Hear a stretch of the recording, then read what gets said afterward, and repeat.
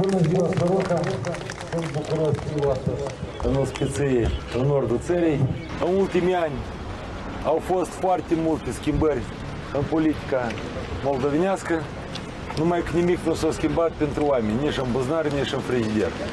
Noi toți suntem primari de oraș care am câștigat de două mandate. Știți foarte bine că omul prima dată crede în promisiuni când merge la vot.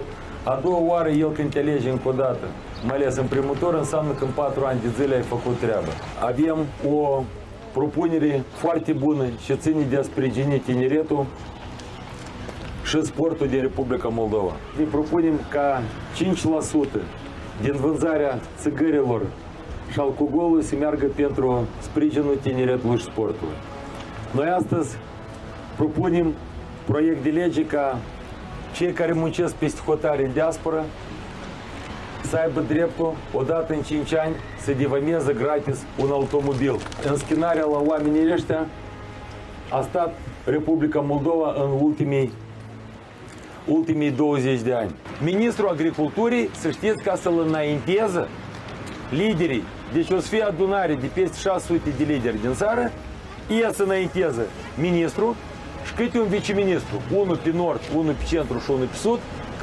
aud că ministrul nu le răspunde la telefon, oare nu-l primesc, că așteaptă oamenii două, câte două, trei luni să nimerească la dânsul. Să știți că noi mergem în Parlamentul Republicii Moldova, să fim revizori din partea poporului, doar în mână cu un hârleț, noi mă răbde să facem reguli în Parlament decât ăștia toți care până acum au umblat cu vorbitul. O seară frumoasă, vă mulțumesc din suflet, vă mulțumesc! Votăm blocul electoral Renato Usatăi. Puterea e în adevăr. Alegem adevărul.